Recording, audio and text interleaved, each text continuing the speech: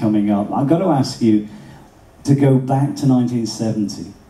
The twin guitar sound. Of course, the Yardbirds had tried it briefly with Jeff Beck and Jimmy Page, and then Jeff disappeared. Where did the idea come for the twin guitars, with you and Ted as it was then? Great question.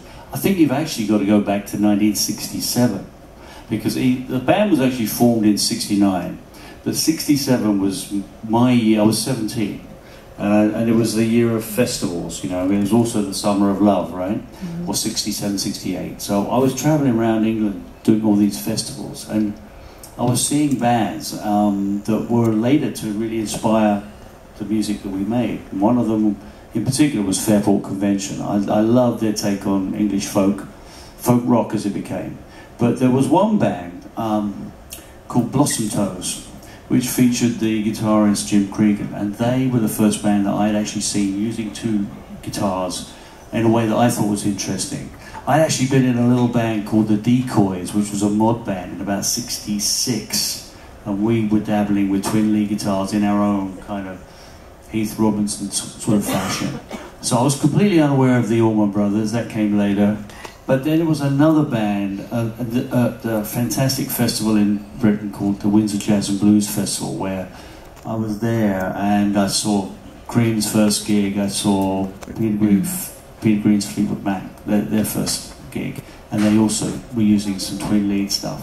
And um, so those two bands, Blossom Toes and Fleetwood Mac, with a little bit of Fairport Convention, that was the blueprint for Wishbone Ash. And that was the first time I really I thought, you know what? Because the thing was, in the mid 60s, by the time you got to the mid 60s, pretty much everything had been done with guitar, actually. Mm-hmm. And um, so the, the natural thing was to really think about how you could keep guitar as a for, at the forefront because it was so exciting, guitar playing, but make it bring something more to the table, melodic, mel- melody, melody really. So that was what that was the whole thing between behind the twin thing. Yeah. John, can you sit down? Can I sit down? Okay, I'll go. No, I can go to stand over here. That's okay. I don't mind. Listen, this is my best side. Seriously. Um, usually, best seen disappearing into the distance. Um, no, listen. I get in it first, then I know I'm I'm on top of things. Then um, the first album was relative. It sounds to me now relatively simple, and, and it, I imagine it was recorded very quickly, which is probably why it still sounds very current. Would that be right?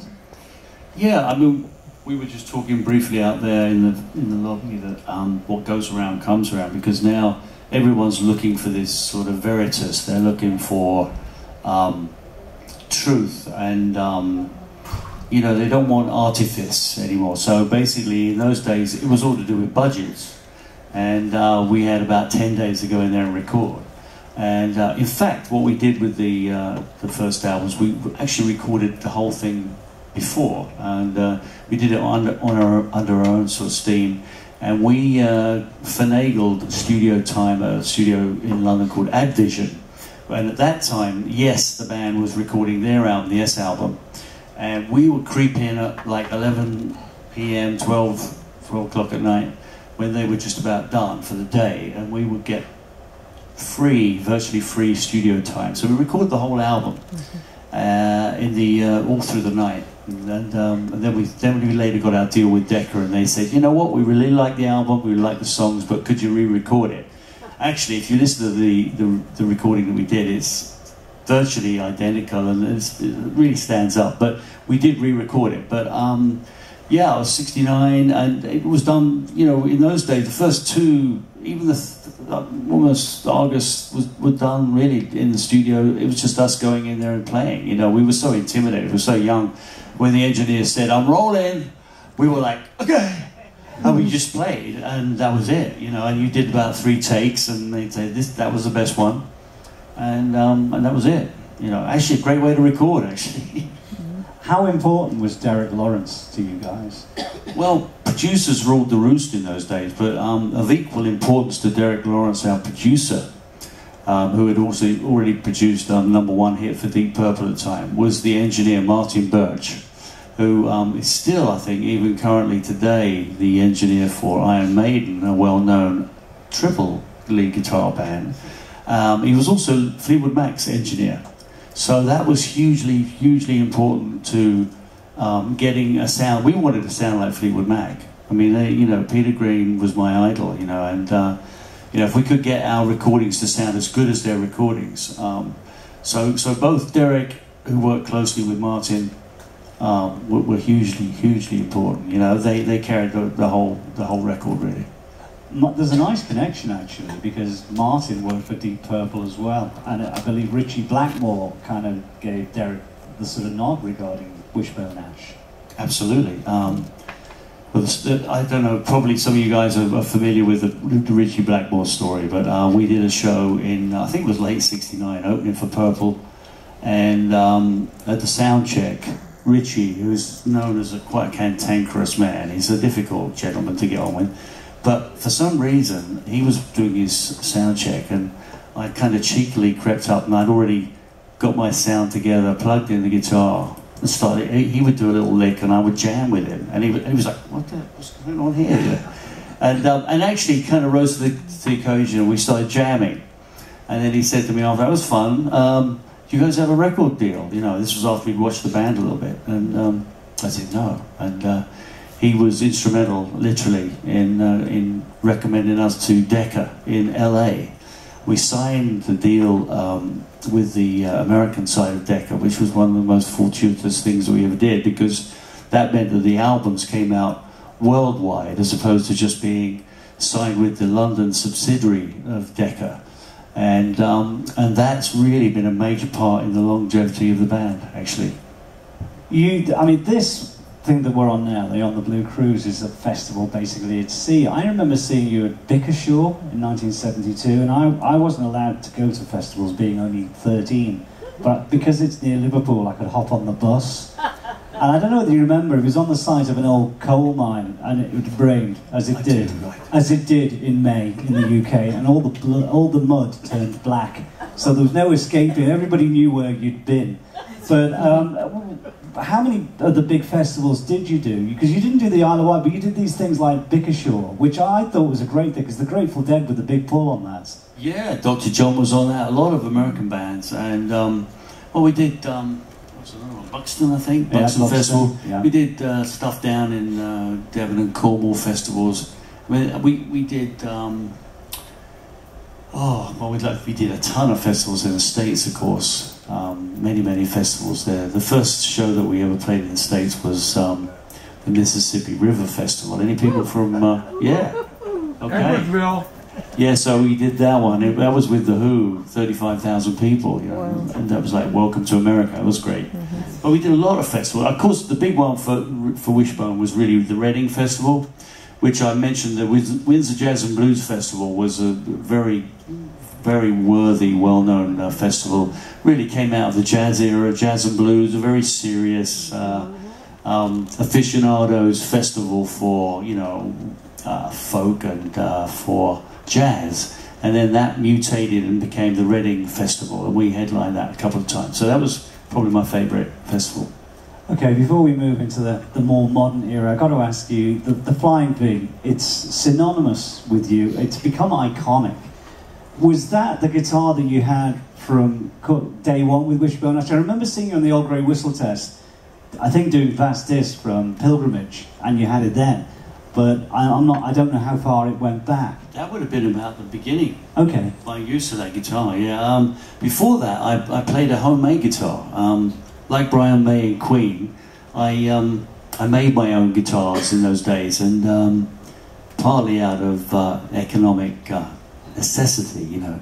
Um, we, and we actually made all our equipment as well, the speaker cabinets and so forth. But um, as soon as we made a little bit of money, um, I started to look around for a decent guitar, and the Flying V was, uh, two of them came into London. This is quite a rare beast. Um, nobody really wanted, no, no self-respecting rock guitar player wanted to play a Flying V because it was like, well, you know, it was a little bit too... Uh, risque in a way, you know, because the classic guitar was you either played a Telecaster or a Les Paul. And uh, but then I started playing this guitar. Bought the guitar from a, a store in uh, Denmark Street called Orange. Where we, we had actually gone in there to buy equipment and uh, to take to America to use for the shows. So I bought that. I think you're right. It was about maybe late 71, 72. So it would have been around the pilgrimage time And by the time Argus was recorded, I was permanently using that guitar. And of course, um, the music magazines in uh, Britain, which were like the Bible, the Melody Maker, the New Musical Express. I mean, it was all about image, and they were starting to sort of, um, they were selling thousands of these. And of course, my image with the Flying V was quite appealing to the photographers. And, um, and subsequently, the Flying V became one of the three favourite guitars that people like to see guitarists use. And then now, nowadays, everyone goes, "Oh, Flying V, that's that's rock," you know. Actually, it's become a heavy metal instrument, you know. But um, the only other guy I was aware of that played one was, of course, Albert Albert King. And um, but that was a different field. That wasn't rock. That was blues, and uh, he'd always played the, the Flying V. I remember seeing Dave Davies one. Dave 60s, Davies, definitely. There weren't many TV, about. yeah. yeah. Yeah. But I, I remember it got you on the front page of Melody Maker. I remember Yeah, that. I'll do anything. I'm a whore. Yeah. What can I tell you? Um, I watched you the other night. The twin guitar thing. It, it just seems so easy. It's like from you to him, and it's like, how easy is is that to sort of communicate between you? Because it just seems like almost telepathic. Well, This is Mark. He's, he'll tell you what he's. Well, he's got a unique take on it because Mark is. You can see he's a lot younger than me, right? But he started playing our music at age nine. So um, he's kind of ingrained in you, really, isn't it? And I mean, as far as like we didn't know that we could play together until we tried it. Yeah. quite a few years. Alan. And, uh, yeah, we started playing together, the lines, I, I knew most, most of both parts of the, the lines to start with. He would remind me of my part. Remind you. No, it doesn't go like this. It goes like that. Yeah. And then you'd correct me again. so, yeah. Oh, where are you from? I'm from Leeds. Please, I, I hope. Hey, All right. hey, Well, listen, I, the, the, what I saw throughout the set, and, and particularly during Blowing Free, which is the last song, it was, it was like just backwards and forwards, and you could almost see it, literally, and it sounded incredible. Um, Mark, what, have you always played a Les Paul? Les Paul, Strats, Uh, classic okay, the classics, okay. guitars, yeah. Yeah. but mainly Les Pauls. Because as, as in the original Wishbone Ash, Ted used to occasionally use a Strat, and I remember they had a great Black Beauty Les, uh, Les Paul, fabulous guitar. But um, and then Laurie went into the more into the Strat side of things, didn't he? Yeah, Laurie, I'd say, was primarily, uh, initially, was a um, Telecaster player. He's a picker, really. And the Telecaster is known as a country guitar. And that's the roots that Laurie Wisefield came from. But Ted was, you know, he would do the even the, the mellow parts of the music were always on a Strat, clean sound, almost a Hank Marvin sound. And then the Les Paul, that was Ted's thing. And beautifully, um, Mark is also a fantastic Les Paul player. There's a great feel for that particular instrument. Um, but you're also great on the Strat too. So yeah, yeah. I mean, you're one of Mark's uh, favourite guitar players is Mark Knopfler, and I would be right in saying, right? Yeah, who is a great Strat player. Yeah. Didn't you play a Strat though? I yeah, I'm- I'll I'm play thinking- anything. Yeah, I'm I mean, thinking of the song. If you'll get me on the front of the magazine, I'll play it. I'm thinking of the song uh, "Underground" from yes, Number the Brave. Very good. Yeah. Yeah, well, I, I mean, tellies. I've, I've played a, a telly. Uh, actually, a lot of times when you think you're hearing the Flying V on record, it's actually a Telecaster. Uh, and I have an old 52 Telecaster that used to belong to Roy Buchanan, and that's my uh, go-to recording guitar. I can do anything on that guitar. The only thing it doesn't have is a whammy bar, which is like that's my crutch. You know, that's my pole to part of my sound. But I can do pretty much anything on a telly. But I also, yeah, I'll, I had Strats. Um, of course, back in the day uh, when we first came to the States, we would go around all the pawn shops and um, it was P fun. O R N. P- P O R N. P- yeah, all the porn places, yeah, we, we visited all of them. And uh, so, anyway, um, yeah, we would pick up these uh, fantastic instruments. Uh, I mean, the, the going rate for any kind of Fender from the 1950s was 300 bucks. Was it, 300 bucks, and you could uh, you end up with these incredible instruments that we would then feature on our albums. You know.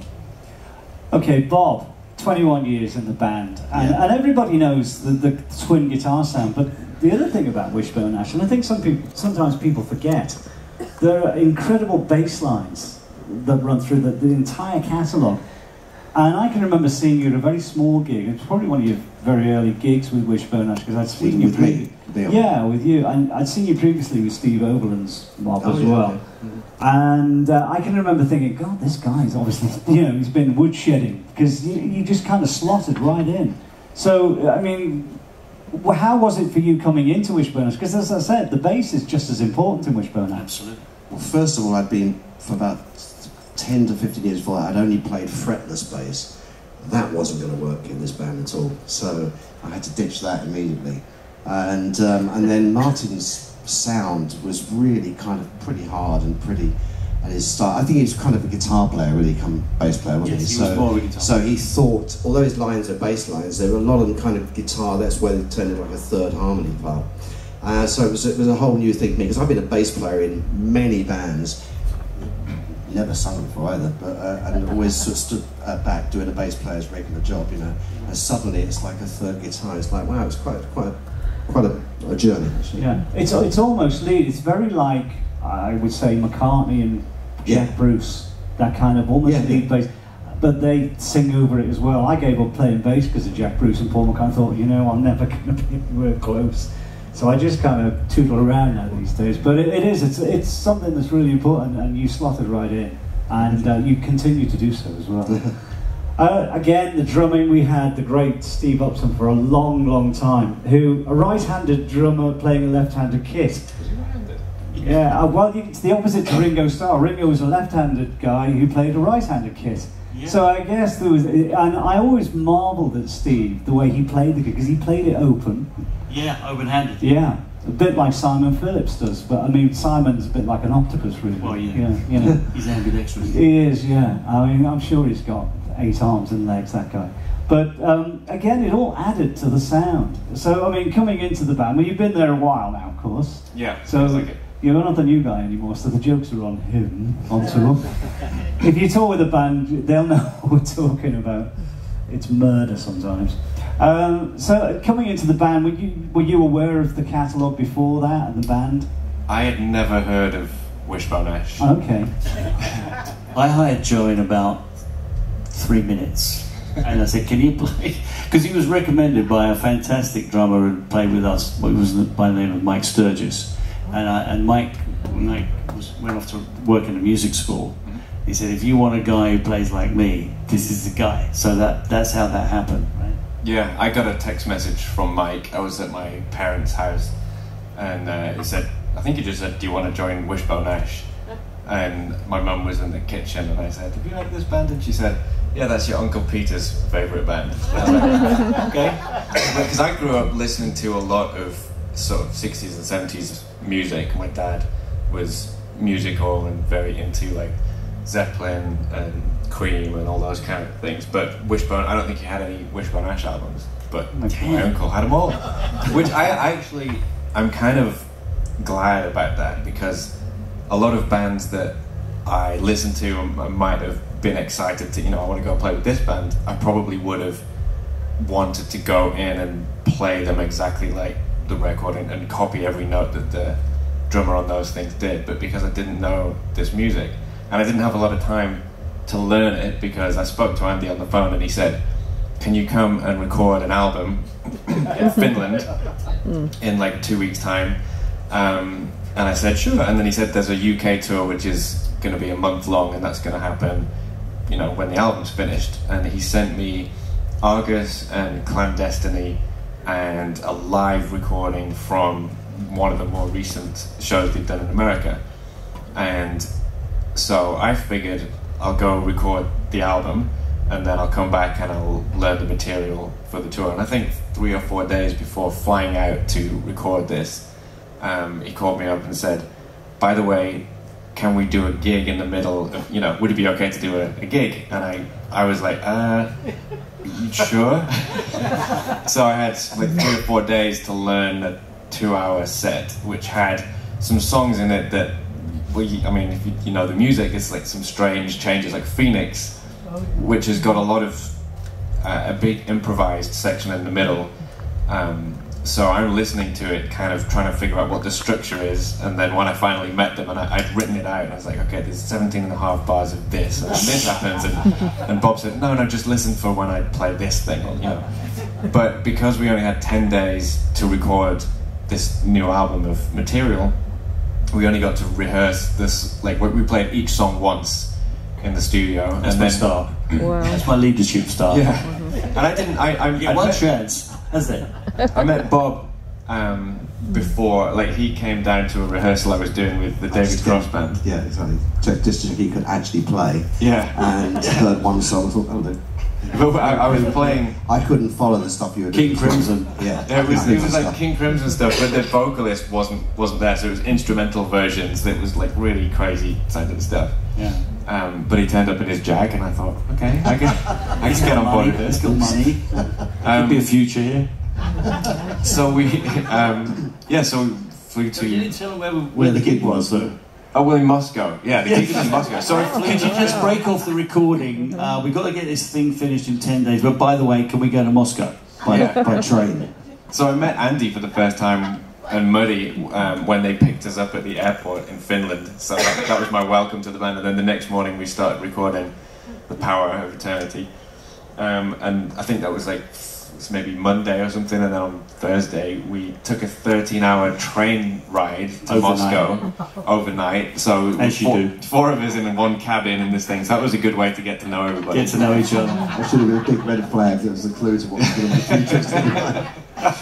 And then we did a did a gig and it we got through it. Oh, it was yeah. Yeah. Yeah. it was- And I don't think we've ever. I think we were playing for the Ru- then. Never we were asked playing for the. Russian mafia, I think. it was that. and then we got back on the train again and, and, and resumed recording in a in a it was a disused cement factory in the middle of a logging camp in bloody darkest Finland in the middle of winter. It was about as miserable. I thought if he could get through that, he can do anything, and it's proved to be the case. Well, he, he's still here. After, what, He's still years? smiling. Yeah. I mean, you seem to. The, the, the thing with Wishbone Ash, there's been some key drummers. Obviously, Steve Upton. Then you had, um, I think, Ray Weston, and, and then, of course, Mike Sturgis. And now we have Joe. And it, it seems to be that you like stability behind you, if you pardon the pun. It's an English joke. yes. Well, I mean, it, uh, you know, everyone focuses on the guitars of Wishbone Ash, and um, of course, it's hugely. It is a guitar band. Um, you know, if, if I didn't have to sing, we could probably carry a set by playing instrumentals and guitar and so on and so forth. Uh, incidentally, did anyone see Johnny A playing out there on the? Uh, Oh my God! What an awesome guitar player! Yeah. I mean, you know, um, I said to Mark, you better watch out, guys. I, that's my kind of guitar playing, you know, fantastic player. And um, so, yeah, it's always all about the guitars, Wishbone Ash. But uh, what, the, the, the, the tricky thing, really, the, the rhythm section, is because of Steve Upton and Martin Turner, is just so important because we composed our music. I mean, there were some songs where, like, for example, Blowing Free, it's kind of a riffing, groovy, boogie number. We, we play that style of music, but uh, so much of our music it goes it goes into prog territory. So to have guys like um, I mean these guys can actually read notes on a musical notes. I mean it, it- bizarrely. I mean yeah, it's true. You you put it's the old story, the old joke. If you put a, you know a musical score in front of a couple of big guitar players, they'll just run a mile.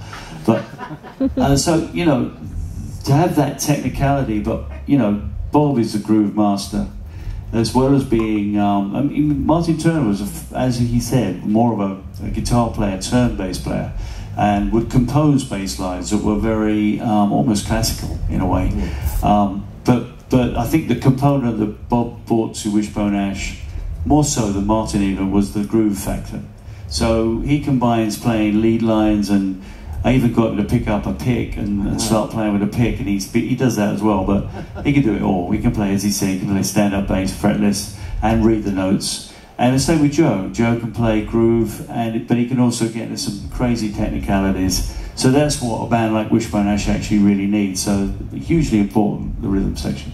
Okay, if we can set up the mic. Has anybody got any questions out here? Because we can set up a mic and you can ask them. Okay, can we set up the mic and uh, these people can uh, ask the guys some questions? one before we get this set up, if I can ask you, a lot of bands these days are not able to record albums and bring them out, and yet Wishbone Ash still do.